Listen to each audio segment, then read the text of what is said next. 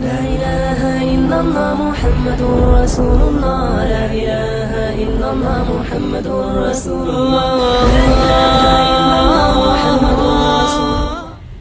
حضرت عمر فاروق رضی اللہ تعالی عنہ وہ شخصیت ہیں کہ جن کا ذکر اللہ تعالی نے پچھلی کتابوں میں بھی کیا۔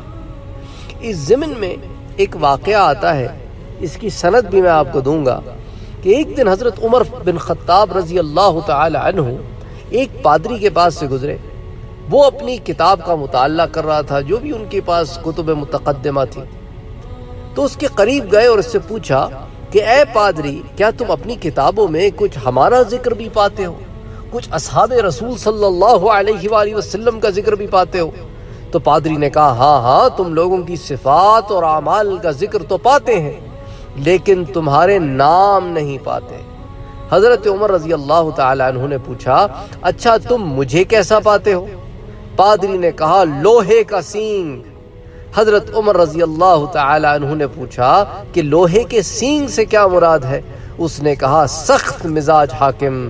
حضرت عمر رضی اللہ تعالی عنہ نے خوش ہوتے ہوئے کہا، اللہ اکبر، الحمدللہ۔ یہاں پر واقعہ تکمیل کو پہنچ جاتا ہے۔ یعنی مراد یہ ہے کہ ایسا حاکم جو اللہ اور اس کے رسول کے بتائے ہوئے احکامات میں لچک نہیں دیکھتا، پھر ان کے نفاذ پہ عمل کرتا ہے۔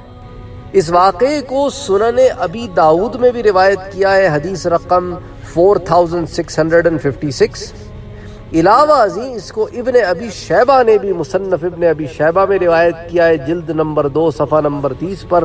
اور اسی طرح ابن الجوزی نے المناقب کے صفحہ نمبر گیارہ پر بھی اسے روایت کیا ہے۔